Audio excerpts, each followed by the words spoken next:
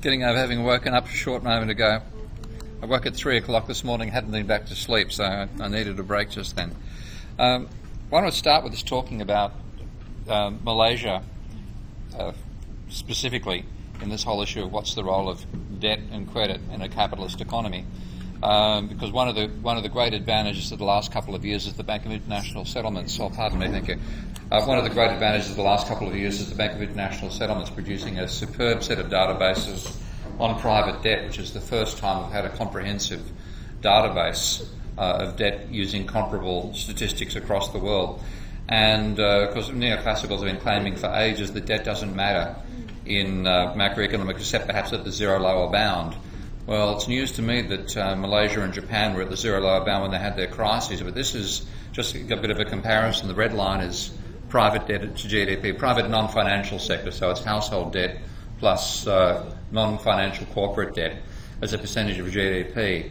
And Japan uh, still has, it's not the highest level we've ever had. I think uh, the highest was actually um, um, Holland with, uh, with, um, with about 240% of GDP. But that's, uh, you can see the rise and fall of debt in Japan at its crisis. Uh, Malaysia and then America. What I want to now do is look at a combination of just the debt to GDP um, and uh, credit. And I define credit as change in debt. And this is, I've been doing this work for a new book coming out in April, May, which is called Can We Avoid Another Financial Crisis? It's a fairly short book.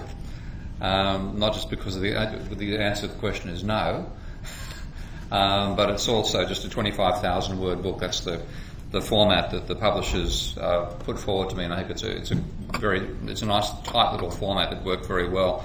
And what I did as part of it is invent what I wrote, developed a graph that I've called the smoking gun of credit, because you always hear in the neoclassicals disparaging any role for credit in capitalism, except during times when the rate of interest falls to zero, and that's now their explanation for secular stagnation.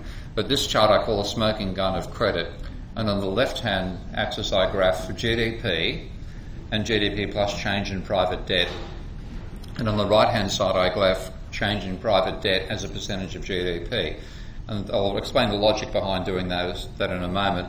The, adding GDP to, to, change, to change in debt is not numerically valid, but it is it's roughly valid because most of credit is used to buy assets rather than used to buy goods and services. But so I've, i just did it today for the Malaysian economy, and as I tell my students when I show them all the data that I've got on credit, if I was trying to make my case by inventing data, I wouldn't dare make up data as outrageous as the real data actually is, because this is the pattern I got for Malaysia.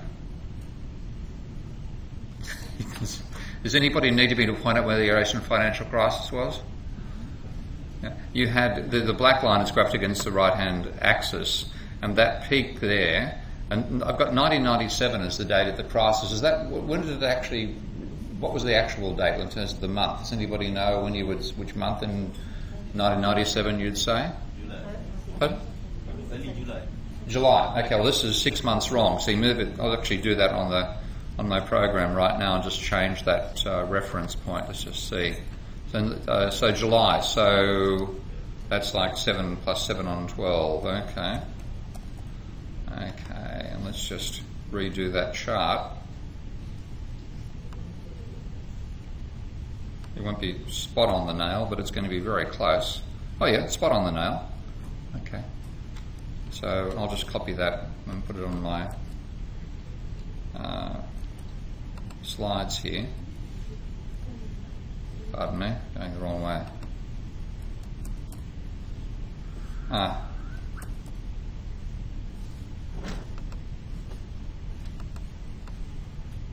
So that's the pattern for Malaysia. Uh, you went from credit, you must have had another crisis in about, though not as severe, in about 1987, That's the time of the stock market crash. But you had this huge boom where credit, which is the change in private debt, went from about 8% of GDP to 42% of GDP. At the Asian financial crisis, it plunged from plus 42 to minus 8. and then you had a rapid recovery. I'm sure that's a that's a sharper recovery than I'd find for Indonesia or for uh, Singapore. I'll do that in a moment if you like, and we can just see what the comparison looks like. Actually, why don't I do it now? Um, so I'll just uh, replace that with the data for say, what's a good one? Singapore, do you think, or Thailand? Which one do you think? I'll try Singapore first of all. Let's just see.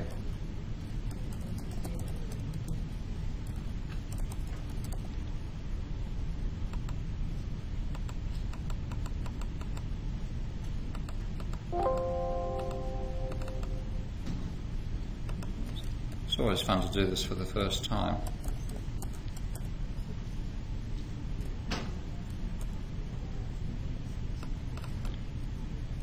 What's their currency? Dollars?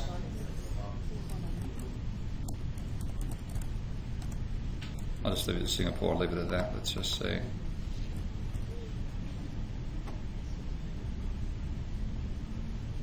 Not as severe, but uh, a longer lasting crisis, and they obviously a hit. They took a hit during the global financial crisis as well, and now they're having a plunging level of credit demand as well. That that's been a very um, even though there's empirical problems about adding GDP to change in debt, the, the, using credit or change in private debt as an indicator of when the when a boom is occurring and when the crisis starts. It's it's, it's been totally foolproof in, in picking up the data. So why does the neoclassical school ignore credit? Well, it's because of the loanable funds model. And my favourite exponent of this is Paul Krugman. Uh, he's, not only does he explain it so well, he puts it so politely. Uh, so he says, think of it this way: when debt is rising, it's not the economy as a whole borrowing more money. So he's arguing there's no link between the level of private debt and the level of money, fundamentally. And this I mean, I find that language quite childish when you read it carefully. Less patient people borrowing from more patient people. It's almost like reading a child's um, nursery rhyme, the way they describe what they think the real world is. Uh, and even post Keynesian economics hadn't, hasn't really properly integrated credit yet. So I got I've been trying to make this case for about a decade, and some of my arguments have been wrong uh, in the sense that uh, I was trying to explain how you could have a role for change in debt and aggregate demand and income uh, while still maintaining the identity of income and expenditure. And it took me a long time to finally work out an intellectually correct way of doing it. So I put it sometimes in ways that didn't look correct. Uh, but if you look at, say, Randall Wray's primer on monetary theory, you start from, you start from the argument that aggregate lending level spending equals income. That's true, but it's leaving out any role for credit. And then when I got involved in a debate with uh, Brett Freiberger, Freiberger, I think it is, and um, Mark Lavoie and Tom Palley in the review of Keynesian economics a couple of years ago, uh, in particular said, I've got to explain how I can, how a purchase doesn't immediately provide income I've got to leave out the idea that there's debt extensions can force an inequality. But it's not inequality, but it plays a role. Um, and I guess it's, the sector can spend more than its current income, but the sum of sectors cannot. True. But it's still possible to show there's an in- intimate role for credit in aggregate demand so and expenditure. So what I finally worked out I could do to bring the reasoning together is divide the economy into multiple sectors, and three is enough to indicate what's necessary. The sectors don't have to be goods and services producing, one of them can be assets, which is a better way to make sense of it. But imagine you have three non bank sectors plus a banking sector. Pardon me. Ah. And you look at expenditure by each sector on the other sectors. So you're definitely looking at the, the reason for the identity of the relationship. So the expenditure by each sector is from from its own uh, sector to the other two sectors. So the diagonal of this table I'm, i use is expenditure, and the off diagonal elements are income. And what I'm showing is flows in dollars per year. Again, I prefer to work in continuous time, virtually everything. This, this microphone keeps on going up and down, is it? I hope it's okay. Um, so all the flows are shown in lowercase and they are dollars per year. And when I bring in a stock, and of course the only stock I have here is the level of debt, I show that in uppercase and I use rho rather than R for the rate of interest when I bring it in. Let's just take a look at the simplest case where the banks are simply a, a, um, a system by which you know, we transfer money, but they play no active role in the economy. So what you have is expenditure by sector one. Sector one is spending A dollars per year on sector two, and B dollars per year on sector three. And sector two is spending C dollars per year on sector one, and D dollars per year on sector three, and E and F amount spent by sector three on sectors one and two. Well, if you add up and take the negative of the diagonals, you get aggregate expenditure. And if you add up the sum of the off diagonals, you get aggregate income. And of course, they're identical. So That's a simple starting point. Now let's consider loanable funds, which is the neoclassical myth that banks are simply intermediaries who enable one sector to lend to another. I just show the lending. I'm not showing any fee income by banks out of that. But I could add that but it would just complicate the diagram without bringing anything more um, meaningful into it. And what I have is sector one is borrowing L dollars per year from sector two, which means that sector one has to have an outstanding debt of L dollars, capital L, per year, of capital L dollars to sector two, and therefore sector one pays sector two interest of rho times L per year, which is why they blend in the first place.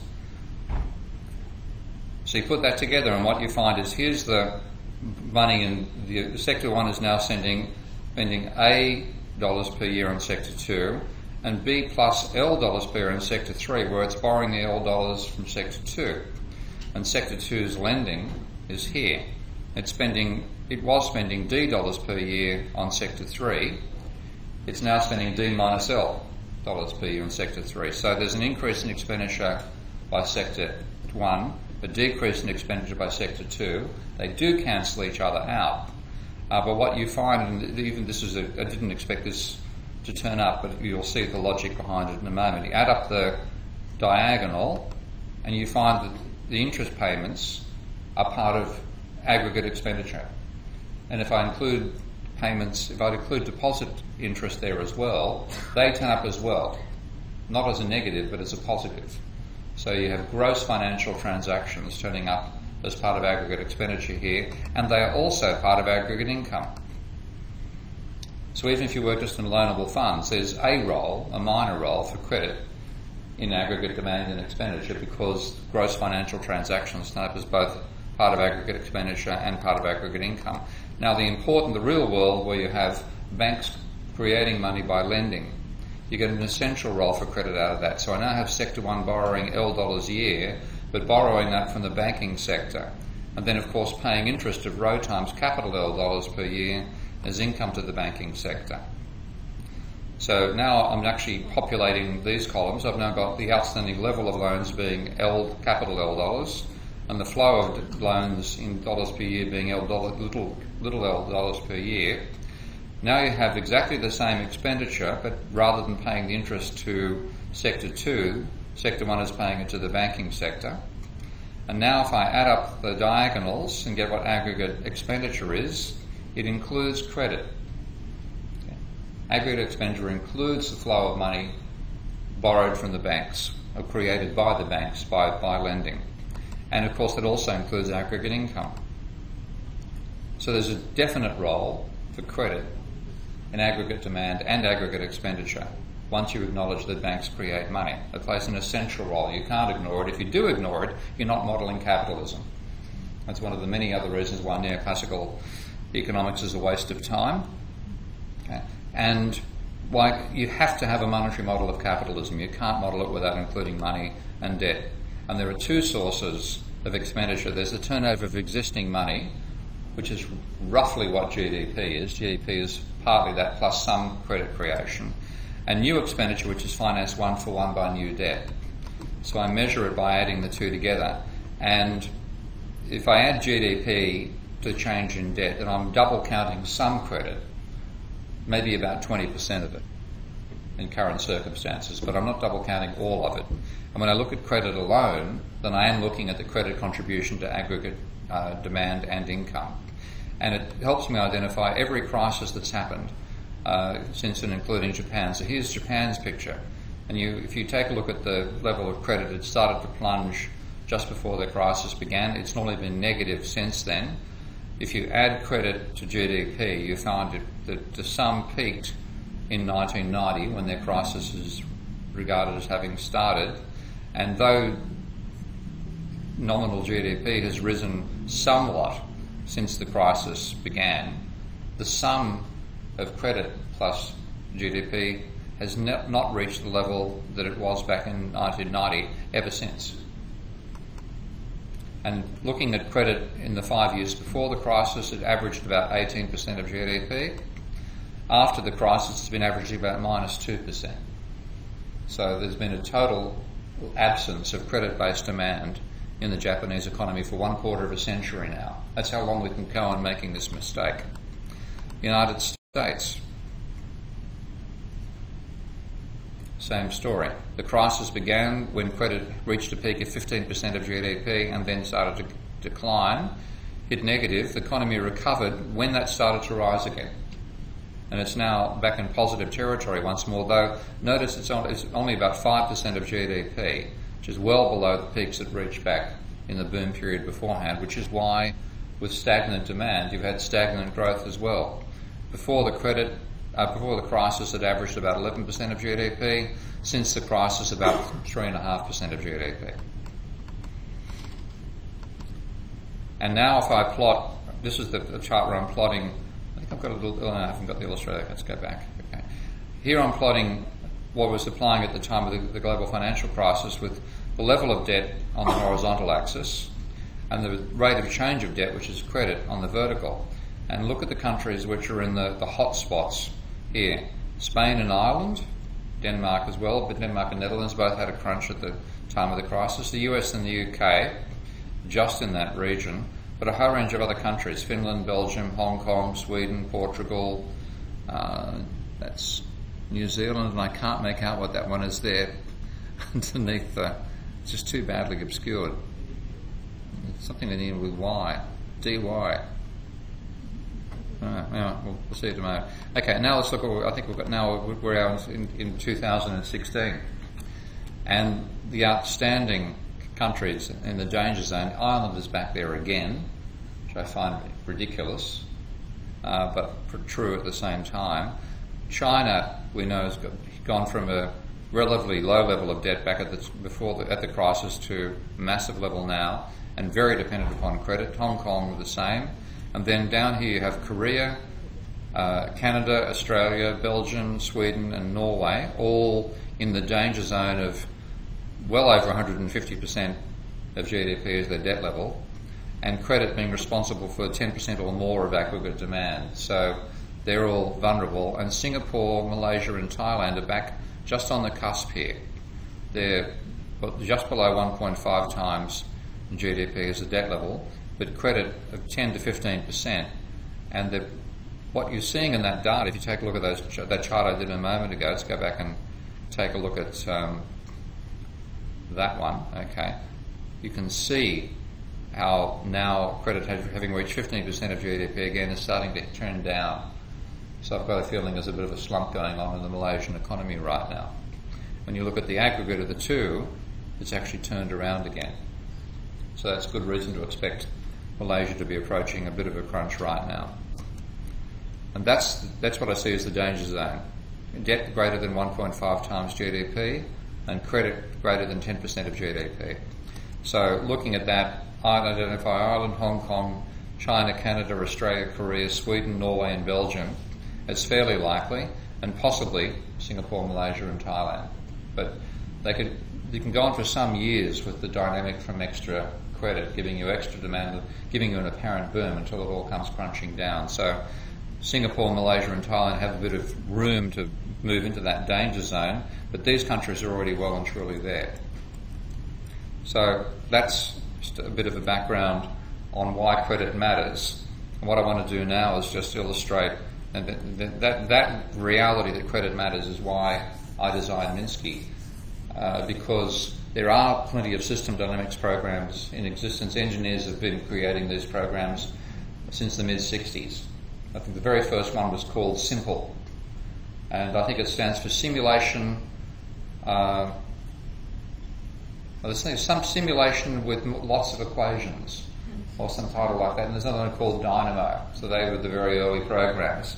And Simulink, which is part of MATLAB, dominates the engineering world these days. VenSim uh, dominates the system dynamics community, which mainly used in management and areas like that. Um, they're all I, they're very good. They're good programs. I, my favourite one in the, in the field is actually called VisSim, which I think has got a much better interface than, than Simulink. Um, there's lots to be said for some of the components of VenSim, but I find the interface rather primitive and rather off-putting. So I'm, I'm trying to design something better than, than that. But the main reason I did it was because of the banking icon you can see here, because when you try to model financial flows using those programs, as Minsky argued, uh, and as you'll find anybody doing accounting knows, to properly record financial flows, you need to enter the same transaction four times. Okay? It'll be from one account to another account through a banking system, which gives you four times the same term can come up. When you try to do that using flowchart elements, you get wires leading everywhere, and it's really hard to read.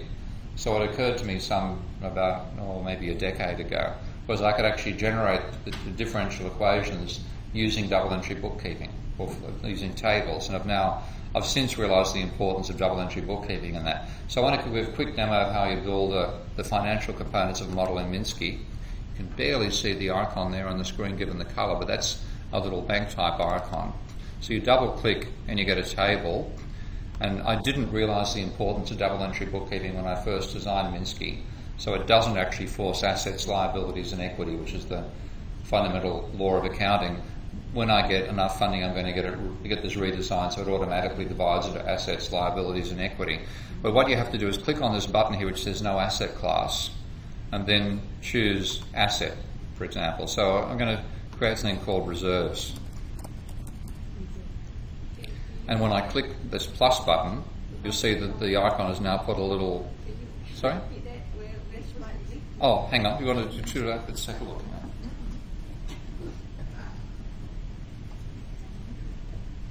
Ah, so you got it there. Okay.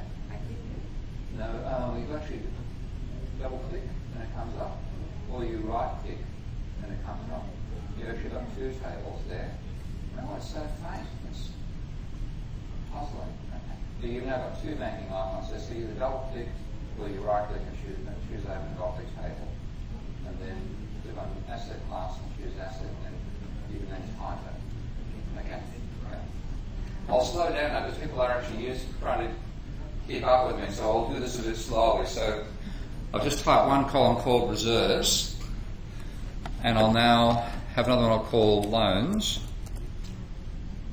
and then click the plus button again and create another column, and let's click on asset and go for liability, and I'll choose firms, type firms in, click again and have, say, workers, and then click again, and I'll call this bank, because this is the bank's equity. Going to change that from being a liability to being equity. And let's just stretch the box out so you can see the final row, final column, which is doing a row sum. And what the program does is it enforces that the sum of all rows must be zero. Okay. If you don't have it summing up to zero, then it'll tell you, but uh, it'll show a non-zero sum there, which means you haven't got the, the, the flows aren't properly balanced. Well, let's put initial conditions. Let's imagine an initial reserves say 100. And notice when I click over here, the row sum is now 100. Well, let's say loans are 10. So you show loans and assets are shown as a positive. So to make sure the row sums to zero, this is accounting convention, liabilities and equity are shown as negative. So let's, let's say I've got, say, minus 20 in the firm's accounts, uh, which showing it as a minus is seeing it from the bank's point of view. Okay? So even though it's a, from the firm's point of view, that's 20 billion ringgit that they can spend. From the bank's point of view, it's a 20 billion dollar ringgit liability they have to the to the firm sector. I'll give, I'll give, I'll put minus 70 in the workers, and I've now to make it balanced, I have minus 20 for the bank equity. So that's now given me the initial conditions. And if I now click over here on the plus, I now insert a row where I can have some operations. Let's just have, for example, have lend money. And that's just a, a text description. So what you now do is you type a word, and we're probably going to change the convention here at some stage. I'm going to type lend underscore F, F standing for firms, and now the program is telling me that my row sum is now positive with lend underscore F inside there, so I need to type minus lend underscore F and click, and you'll see the row sum is now zero. And notice over here on the bank icon, you can see that I've now got lend and then subscript F. So the lend underscore, the underscore is a, a, a uh, language convention in LaTeX. The LaTeX uses the underscore to indicate lowercase or uh, uh, subscript for the next character. Let's click a, another row and I'll add pay interest.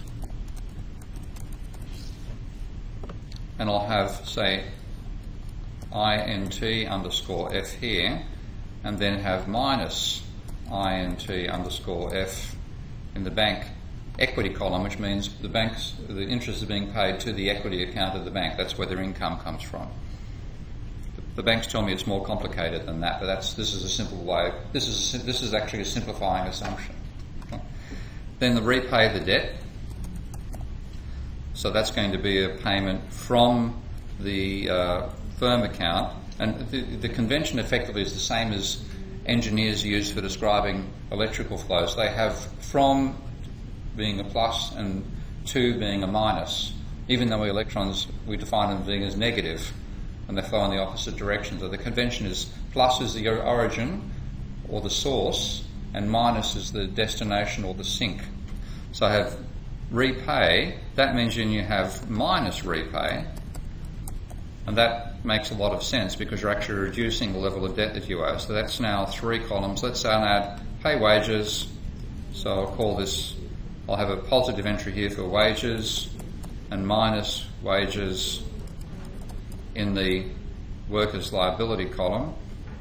And then I'll have two, just two elements for consumption by workers and consumption by bankers. So I'll have CONS underscore W for consumption by the workers, which of course they pay to the firm sector. And I'm going to make a deliberate mistake in the next row just to show you what the program does. So I'm going to have, say, consumption by bankers. Let's type cons underscore B and let's just imagine that over here I accidentally type con underscore lowercase b. Well, the program catches that because they're not the same. So if you want to edit that, you have to click in the column and then, of course, delete and type in the B. And I've made another mistake because I've now got positives in two locations. So what I need to do here, if I type in, the, in, the, in that, in that uh, box and hold down the control key. This is a, a the, one of the interface routines we've used. We probably will try to improve this over time, but this is what we do. Hold the control key down, and each press of the arrow key takes you one character further sideways. Then I type minus, and now that makes into minus consumption, and the, the rows are now balanced. So I'll save that, Control S for save, uh, and let's work that in the workshop.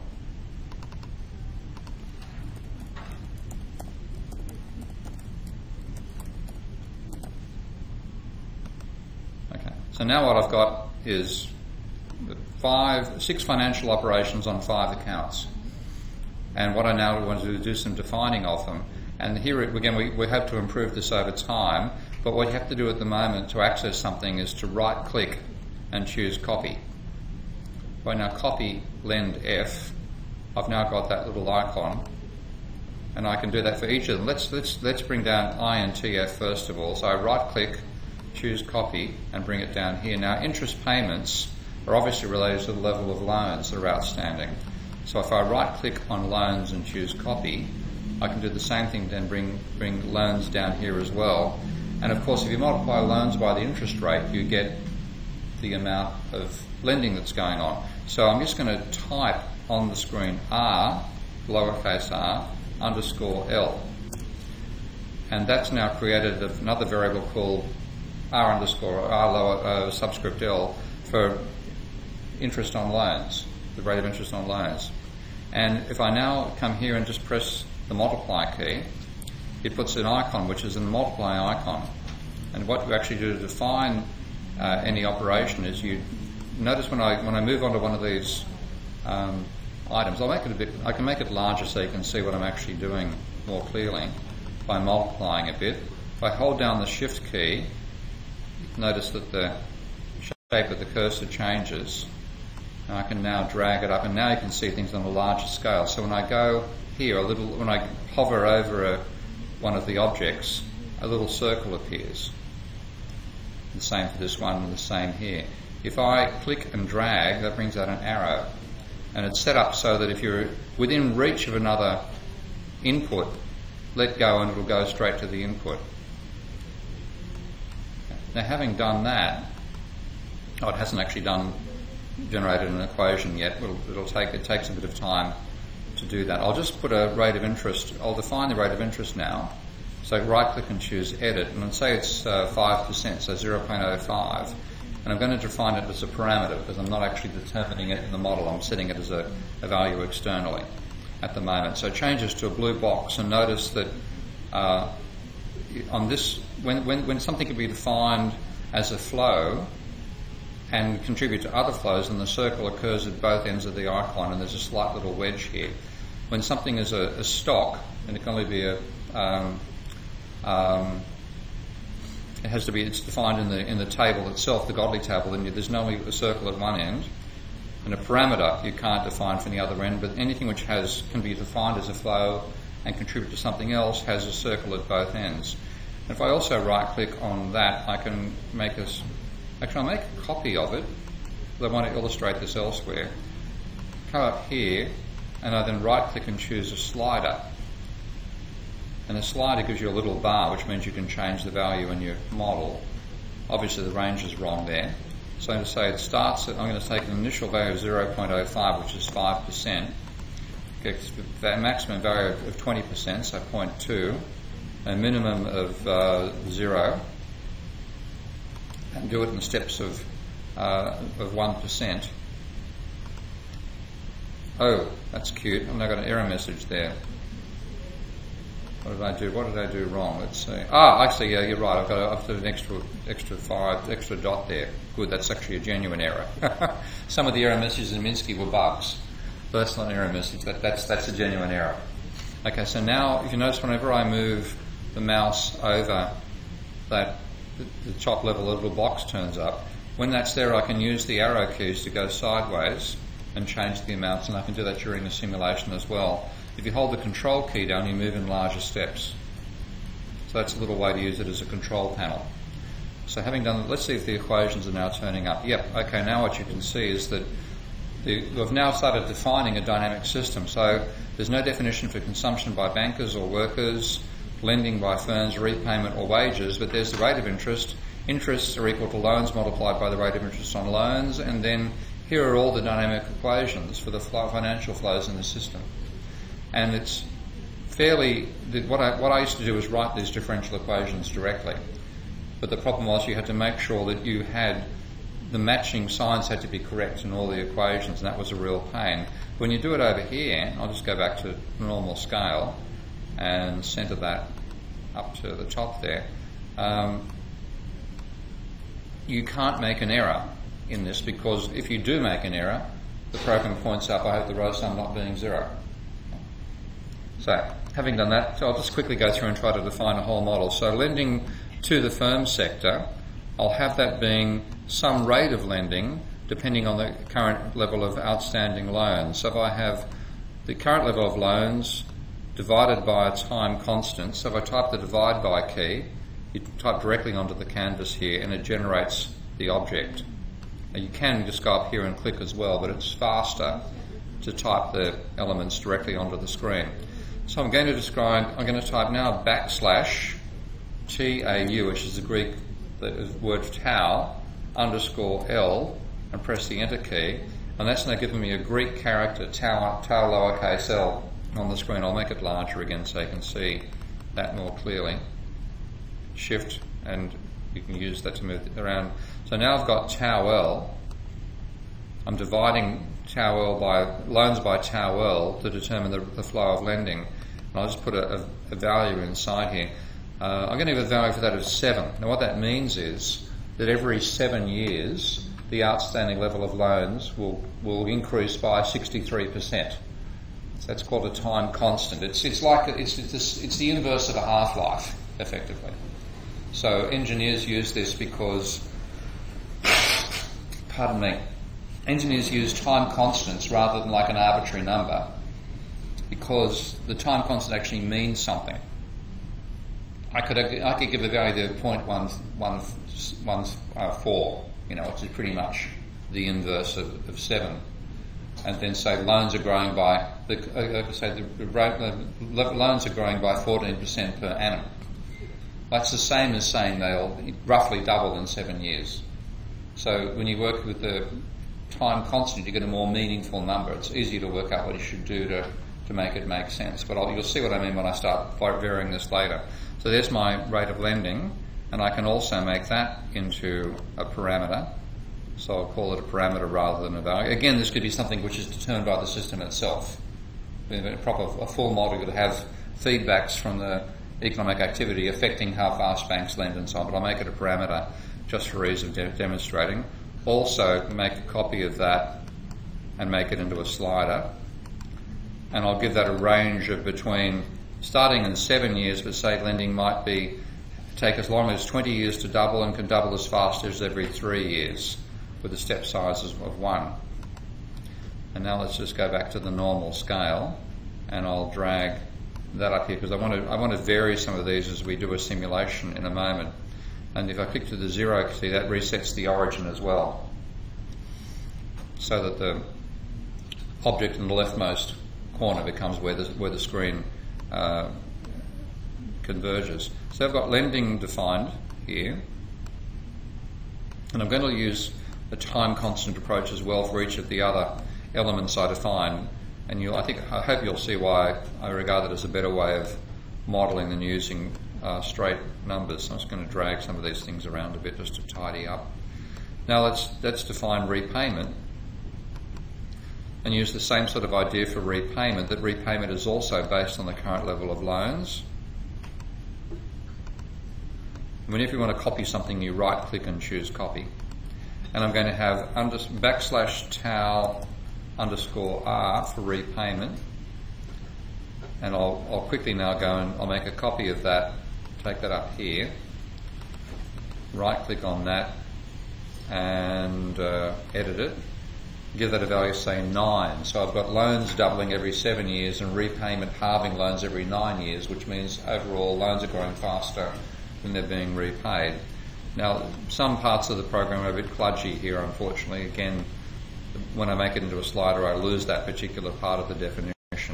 We have to fix that up, but that's just a case of getting you uh, know, money to pay for programming. And again, I'll give it the same idea, maximum of 20, minimum of 3, steps of 1. So now I've got, and you can see it's also gone to 0 again. Let's just actually move it up. Oh, hang on, that didn't work at all. Well, double click and what, what happened there? Okay. Sometimes just errors happen. You have to go back and fix them up. I don't know why I did that. Okay, now, there we go. So I've got rate of interest of 5%, loans doubling debt every seven years, repayments reducing them every nine years, and I now need to make up the mathematics. So I type a divide by key here and then just drag the components together like so. And now if you take a look on the equations tab, we've now defined repayments as being equal the flow of repayments being loans divided by the time constant for repayment. And we've now got two of the, or three of the six elements defined to get a full model. So now let's just define the last three. So wages, I'm going to relate wages to the amount of money in the firm's, in the banking sec, in the firm's bank account. So if I come down here and choose right click and choose the firm's icon and say that there's some rate of wages, rate at which the firm sector's money is turned over into wages. Pardon, me, I've got a runny nose affecting my capacity to talk right now. It's going to go down well on the YouTube recording. Okay. And I'll call this tau underscore. Um, I just tau score W will do. I'd, I'd, make a more complicated model if I was doing a genuine one, but this is just faster, just to talk about the, the amount of money that the firms have generating wage payments. Again, same story, take a copy of it, whack it up here, and then I'll go through the redefinition, make it into a parameter. Initial value of 0.25, which means the amount of money in the firm sector turns over four times a year. Okay? 0.25 is one quarter of a year. And now I've got to go through the same rigmarole of defining a slider and then going back and changing those values so to make it back to 0.25 again. Give a maximum of 1 and say a minimum of 0.2 and do in step chi's of 0.05. And that just leaves defining consumption by workers and consumption by bankers. Well, again, consumption by workers I'm going to base on what's in the workers' bank accounts. And I'm just going to say underscore T, uh, backslash TAU underscore, and I'm going to type curly brackets CW, close curly brackets. And what the curly brackets do is tell LaTeX to subscript everything within the curly brackets. So you now see I've got two letters subscripted there. I'll make a mistake with the bankers and show you what happens when you do that. So same story. Right click, choose a copy, put it over here, and again I'll go through, make it into a parameter, give it a value of 0.05, and what that means is bank uh, workers turn over the amount of money in their bank accounts 20 times a year, okay. which means every, you know, roughly two and a half, three weeks, they're spending all the money in their bank account, which again implies the level of lack of wealth that workers have individually. Now again, same thing. Make it into a slider, goes back to zero again, back to make it 0.05, let's say. Give it a maximum value of, say, 0.25, so they take them a quarter of a year to spend the money in their account, a minimum of 0.02, so they they, they spend their accounts every week, which is 150th of a year, and give it a step side of 0.01. Okay, and I'll do now the same for, for now I need to have to type the divide by key. So workers' bank accounts divided by the time constant of consumption by workers is consumption by workers, and the final one is consumption by bankers. So copy that, bring it down here, get hold of the bank account, which is their equity account of which they can spend. And I'm now going to type backslash TAU underscore CB and you'll see what happens. Notice the C is subscripted, the B is not. Okay. So LaTeX is subscript to the first character after the subscript command, unless you put it in curly brackets. So if I double click here, I can come up here to the definition, and then I can type the curly brackets in here to correct that error. Make it into a parameter. Same thing, give it an initial value. I, am doing initial value even though I know it overwrites it because we did have a bug at one stage. If you didn't provide an initial value, it would crash. Okay, so I just I don't want to crash in the middle of giving a demo, so I'll give it a value of one, meaning workers, bankers could live for a year on what's in their bank accounts, which is obviously saying they're wealthier than workers are. So let's just go and, and now um, take. Uh, hang on, what happened there? Yeah, okay, I've still got to type the curly brackets up there. I thought I did that. Let's do that again. Okay, now it's now it's done them in lowercase. Again, I'll take a copy of that, put it here, make it into a, hang on, right click and choose slider. Again, we have to make all this stuff easier to easier to use at some stage. Give it a value, a maximum value of say two years, and a minimum of half a year with step size of one tenth of a year.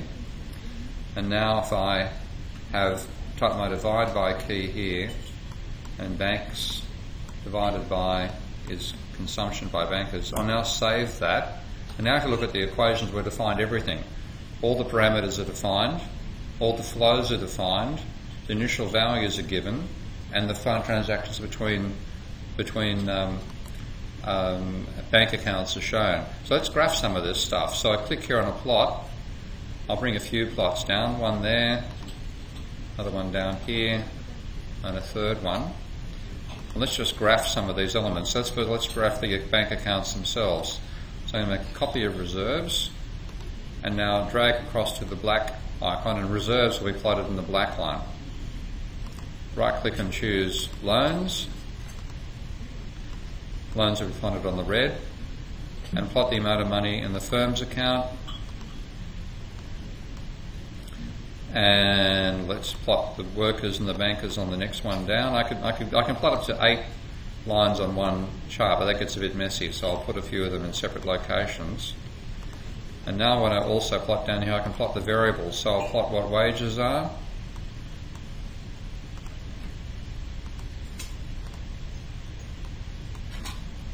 And uh, what um, consumption by workers is. Where's, uh, so where's consumption by workers? Copy that. Okay. And now let's just make it a bit more attractive. So if I right click, one option is to resize. Someone is calling on my phone. Hang on a second, I've got to answer this. Is hi. um, I better turn it off. I'll have to explain when I get back home why I turn the phone off. Stop. Okay. Um, so that's defined those flows. Options is how we currently give titles. So I'll say uh, accounts and uh, years as the time dimension and uh, let's say dollars as the dollars per year as the flow. Oh no, dollars, pardon me, because that's actually stocks. And here I've got, uh, let's make this the flow, so I'll just I'll option this up. This is wages and consumption.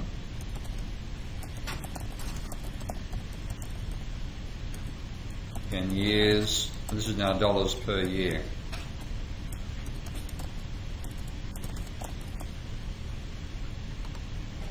And we're still getting the formatting right. You can see the formatting doesn't quite fit there. I'll choose resize and rubber band it out of it. It's a bit better like that. We're still have to do a lot of work on the cosmetics. I'll do the same thing here. Resize this, drag it out. Okay, but I won't put some labels on there yet. I'll save that again. Now let's just simulate. And what you've got, as you can see, happening slowly over time is a rising amount of money in the firm's accounts and in loans. And if I increase the rate of, let's say repayment happens more slowly, so rather than paying, repaying every nine years, it's repaying every ten, then you'll see the system accelerates. Even more so if lending happens more rapidly. But then if I have lending happening more slowly and repayment more quickly, you get a downturn in the economy caused by those financial dynamics. Let's go back to the initial situation again of seven I say seven and nine is fine. And reset that. So that's a simple monetary model in Minsky. Get the idea? Okay. It's a lot further to go, but that's the, the basic idea of being able to model financial flows. I'll make a couple of other changes as well. That's just showing the banking sector, showing the economy from the banking sector's point of view. But let's make a bit of space here, just drag some of the objects around. Put another banking icon in here. And I'm going to look at it now from the point of view of the firm sector. So I'm going to say, let's look for assets. Now, at the moment, somebody's one person's asset is another person's liability. That much the uh, neoclassicals get right. They don't know what to do with it there. So if I now say let's assets, notice there's a down arrow here. Well, that shows what are the available liabilities which haven't been allocated to somebody's assets. If I click on firms, the program instantly populates all the operations that affect the firms, the, the, bank account for the firms, and now it's showing what were positive for the for the bank negative and vice versa. So I've got the assets there. I now need to look at liabilities, and finally, what I want to have is look at the equity situation for this particular group. So, what are the available liabilities? Well, the liabilities are current loans, and of course, the banks, the firms have loans from the banking sector. If I click on loans, the program then populates the matching rows where that's happening. So lending minus lending, repay plus repay. And now I've got to show, notice the column sums are still not correct. So uh, obviously there's, if their firms have $20 in initial assets and $10 in initial loans, their initial equities position is going to be shown as minus 10. That fixes up, fix, fixes up the, um, the um, initial conditions, and now I simply have to type that consumption by bankers adds to the firm's equity, so does consumption by workers. Uh, interest payments reduces it, so you show that as a positive. And wages reduce it, so you show that as a positive as well. And I've now got two views of the financial system. Notice it says Godley 1953, it's just a random, that's just a text label at the moment, but if I label that the firms, at least it labels it, we'll probably make use of that at a later stage. So I'm now seeing the, the system from the point of view of the, of the firms and the banks. So I'll just make private banks here. And of course, I can add another one in, which I'll, I'll do. To make some space for it. Um, we're still not very good on grouping and moving things around, unfortunately. We're getting better, but uh, it's, it's taking some redesign to make this work well. And I'll take a, take a bit of risk. I'll save that, and I'll just rubber band from here. And that now, everything goes, is contrasted. If I now right click in that region and choose group, then I get a fairly ugly looking group icon. Drag it down, you'll see things don't work very well, but ultimately it functions okay. So I've moved it down to this location. Now if I choose ungroup, then I've moved that whole region down. So lots of work to be done to make groups work better, but that'll do for now. Bring another bank icon down and call this the central bank. Go for assets here and I'll just make this CB underscore, I'll say PB underscore loans. And I forgot to type in the curly brackets, so I'll do that now. And then say, okay, what liabilities are there? Well, the only liability that hasn't been allocated so far is reserves. And now I've got to make that row sum accurate, so the initial conditions here is going to be uh, 100. So I've now in this way, I've started to integrate the central bank into the model as well. And if I had another bank, then I could have reserves being used to make transfers between the accounts and so on. So, so that's using Minsky to build a financial flow model. You can also use it for flow charts, and you can do the, both flowcharts and the banking in the one system.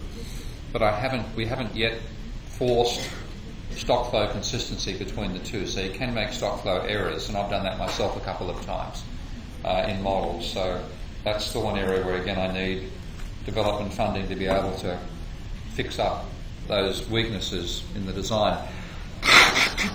Pardon me. Well, now I'll just use a separate uh, table. You can have multiple instances of Minsky open at one time. So I've got two instances running right now. Wish my nose would stop being a pain It's very annoying trying to talk while you're sniffling. So now we're going to use the, is the flowchart side of the program. And I'll build a very fast Goodwin model, which is Richard Goodwin. Is actually, I haven't included Goodwin in my references. I must do that uh, he's an incredibly important dynamic modeler in economics, very much neglected, but I think one of the great intellects in economics. And future years, I people will talk about Goodwin and forget about Friedman. But now what I'll do is build a, a dynamic model using um, Goodwin's logic. I'm going to start by typing L for labour. Labour is going to be a variable. Of course, if you divide labour by population, I'll use N for the number of people.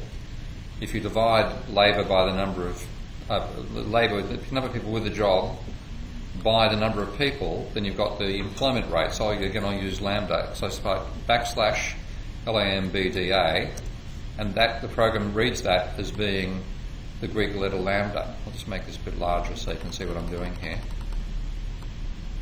So now I've defined the employment rate that way. I don't know that the equations will turn up yet. It takes a while for those equations to start getting formatted. And now I'm going to have a Phillips curve. That's, so that's how you have, that's the level of people that actually have a job. I'm going to type LAMBDA underscore Z for zero as the and make that a parameter, which is the level of employment at which workers don't demand wage rises. So right click on that, uh, edit it, give it a value of 0.6 say when 60% of the population has a job, there are no uh, additional wage demands made.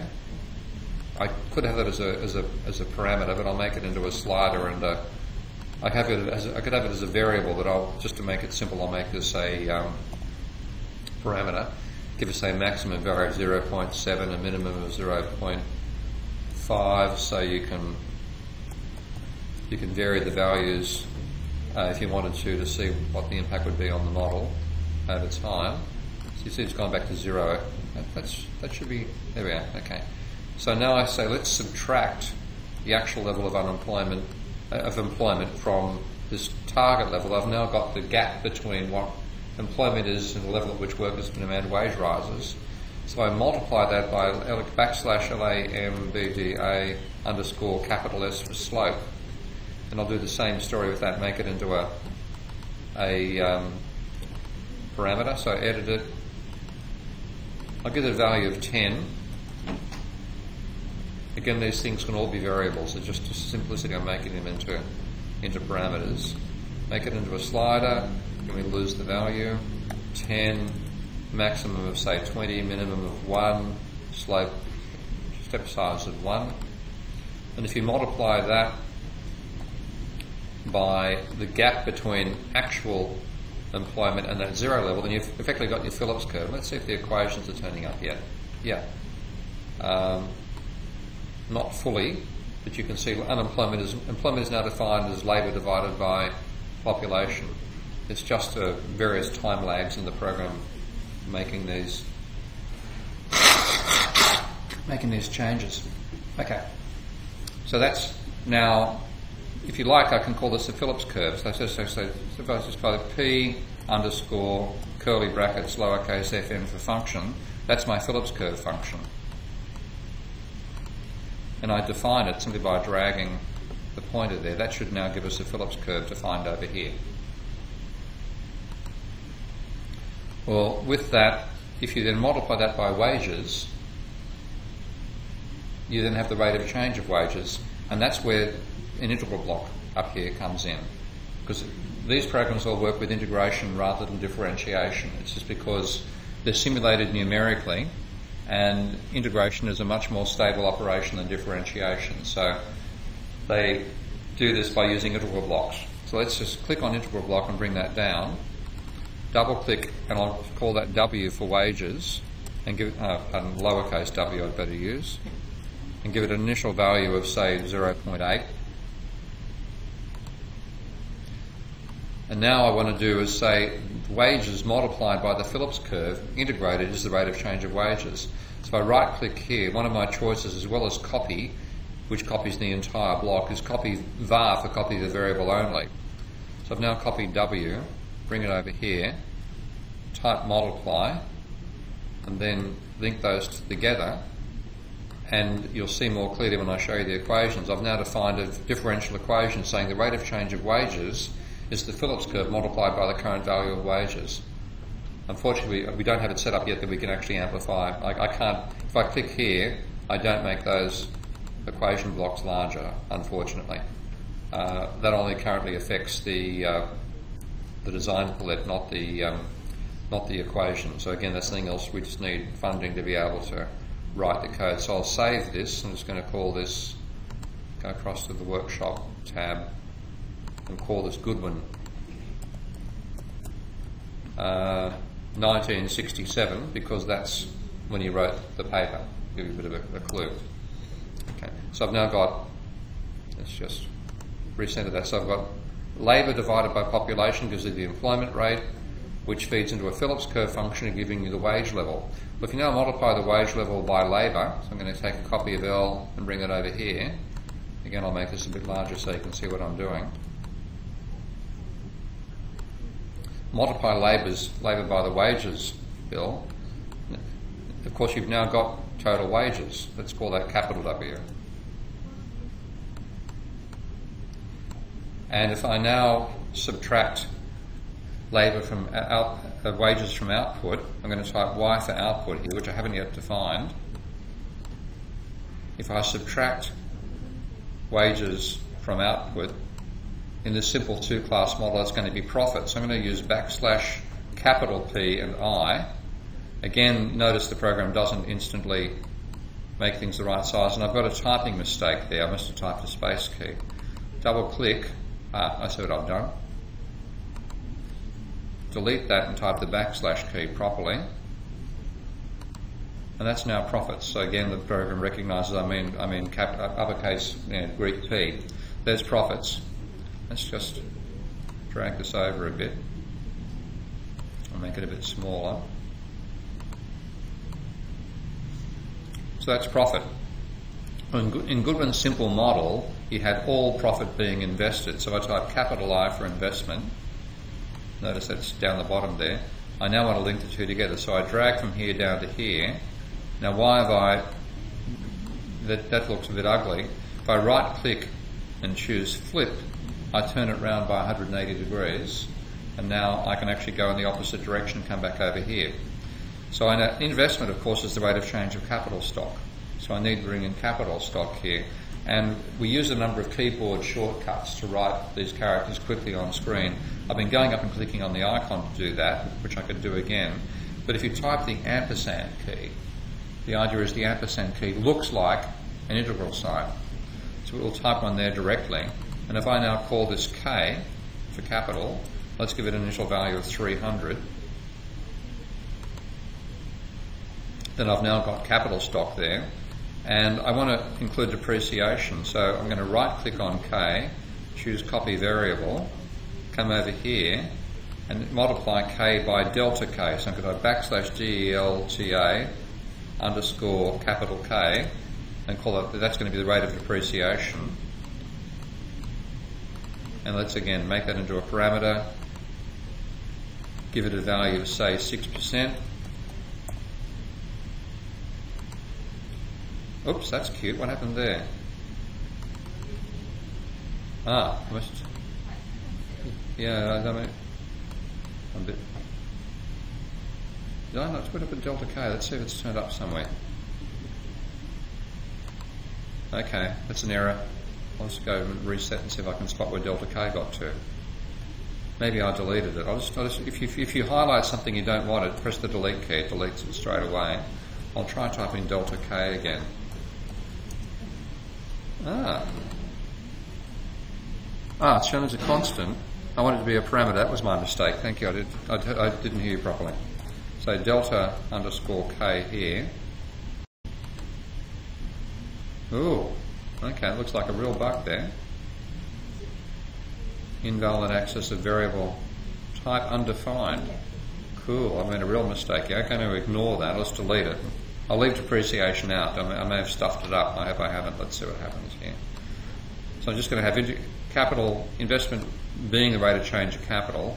Of course, if you then defined output and take a copy of output, if you define um, capital by an accelerator, so I'll use V for the accelerator, and divide capital by the accelerator.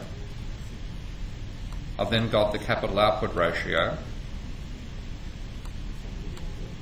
And I then divide, uh, let's drag it right over here. If I then divide that by labour productivity, type LP for labour productivity, let's say it takes one worker to make one unit of output, and divide that and this is going to look a bit messy. Um, I haven't used this trick yet, but notice when I, when I highlight a line, a little blue dot turns up. If you drag that, you can make it into a curve, which give you more space.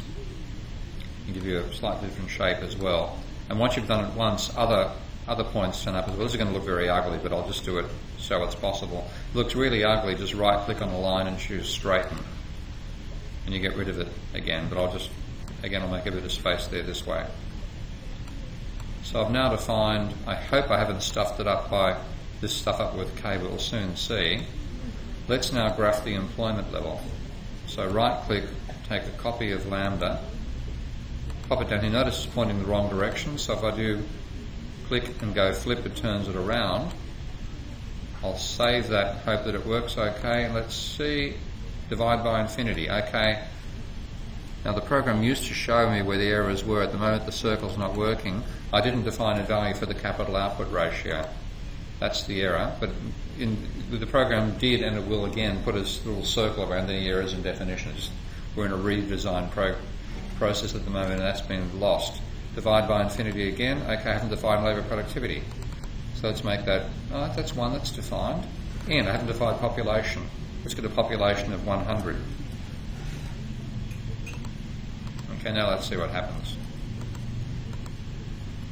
You get cycles. So I've now got booms and busts going on in the economy. And notice I've got wages here. Let's just take a copy of wages. Bring that over here. And if I now bring another chart down, I, one feature I haven't used yet, which you can probably see, which is as well as having buttons on the side, I've got buttons down the bottom here as well. If I right click and choose take a copy of Lambda and attach Lambda to the black input as well, I'm now doing an XY chart. So now simulate it, let's slow it down a bit, it'll happen fairly rapidly. You now show the limit cycle that's involved there. So, that's a very, very fast introduction to how you use Minsky. The two components of it, the idea is to bring the two together. So you model financial flows using the double entry bookkeeping and you model physical flows using the flow chart. The ambition ultimately is make it possible to define like a scalar view of the economy and then just right click and say you want to have a multi-sector view. Let's say you want 10 sectors, it then creates a vector view which would have actually 10 sectors created. All the labour and capital flows that are necessary to make it logically happen are defined. You could then bring in data to match that to what your sectoral dynamics actually are and then again another right click and you would find another country. So an entire simulation becomes a country. Take a copy of that. How many countries do you want? Let's say four. And then make your characteristics and your model international trade. And then all the all the, the program would generate all the logic behind it. You wouldn't need to write it. That's the intention. But if you look at what's been done so far, we've defined the basic equations that um, that Goodwin used for that model. And I've cheated a bit because I've got a constant population and I've got constant labour productivity. So another trick I've added, if we right click on a variable like that, notice you've got add integral down here. If I click on that, I can now come down here and I can define the population as a variable that changes over time. So I'm going to have, you know, I use beta beforehand in the other models to indicate the rate of population growth. Let's say that rate is, say, 2% per annum take a copy of n. Ah, I made a copy of the integral block, which I didn't want to do. Which we might actually get rid of that feature. You don't really need to have two integral blocks in the system. Uh, so copy the variable, and then multiply beta by n, which is the rate of change of population. Integrated, there's your population level determined. And then let's do the same for labour productivity. So add an integral for that let's say labour productivity goes at say 1% per annum, so alpha, give it a var 0.01. I could make this into a slider, but I'll just, and I could make it into a parameter as well, but I'm just doing this very quickly. Uh, copy labour productivity.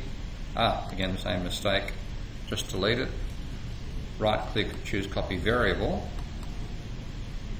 multiply labour productivity by the rate of, of, of, technical change. Again, that could be a variable in a more complicated model. Uh, I'll save that as a different file name in case I make a stuff up there. So I've called that um, Goodwin 1967. I'll call it 1967G for growth. And now you'll see something different happen over here because, of course, wages are going to rise over time. I hope. We'll soon find out. Okay. You've now got rising wages over time. And if I wanted to graph output, let's just grab a hold of output. So for Y, take a copy of that, and let's graph output on another chart. I'll move this one up a bit.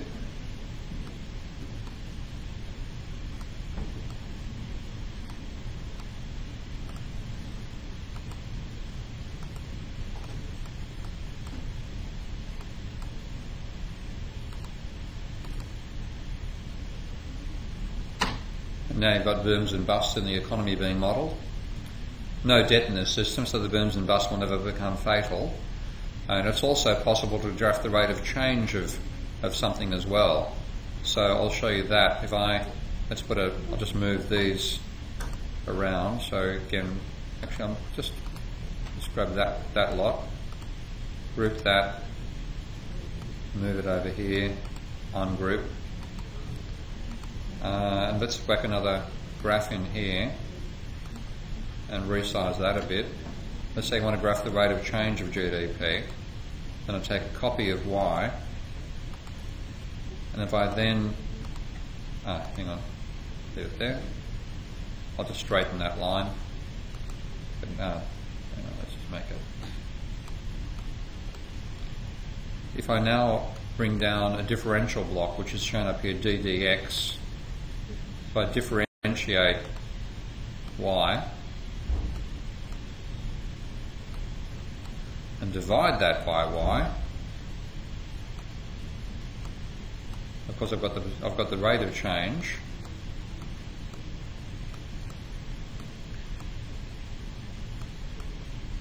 let's just label that as a rate of change, rate of growth.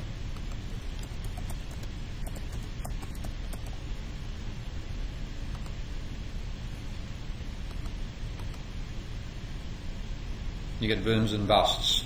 You see it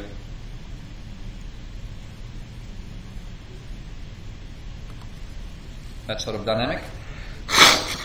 It's also possible to illustrate things. Uh, we, we use a lot of, of, operator overloading. So you notice there's divide by. If I bring down a constant, do you say you want to show that percentage terms? You want to multiply it by 100. So I type 100 here and drag 100 down onto that block. It lets me overload. So this was in in fractions beforehand, it's not going to be in percentages.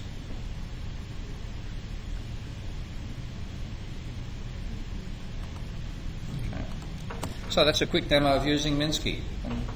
Lots more to it. That's that's the basic intro, and uh, of course, it's the program has only had about uh, two and a half thousand hours of programming time going into it, which is trivial If you think about things like Microsoft Excel and Word, there's hundreds of, probably millions of hours of programming time.